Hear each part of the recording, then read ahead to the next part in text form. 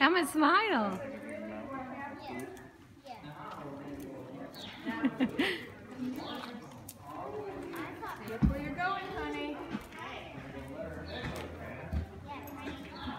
you don't all those people standing here, do you? All right, we're gonna bring her head